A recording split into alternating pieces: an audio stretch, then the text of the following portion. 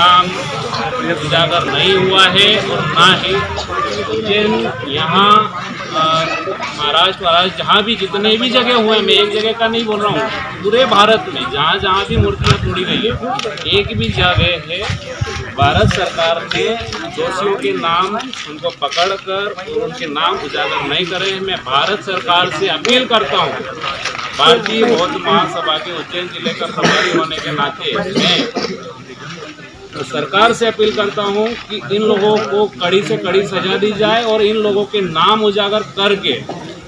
इन लोगों को बताया जाए कि अगली बार ऐसी कोई भी घटना करने के बारे में सोचे भी नहीं। यही मेरी सरकार से अपील है।